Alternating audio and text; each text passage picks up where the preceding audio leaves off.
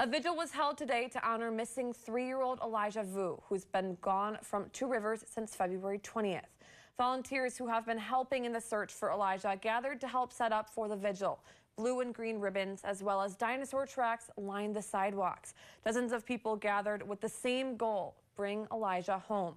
Those at the event also announced they are looking for 100 people to help with another search for Vue on Monday.